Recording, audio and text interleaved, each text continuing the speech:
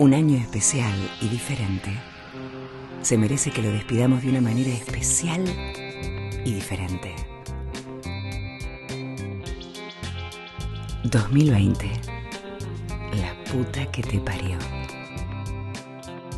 Despidamos este 2020 con todas las letras.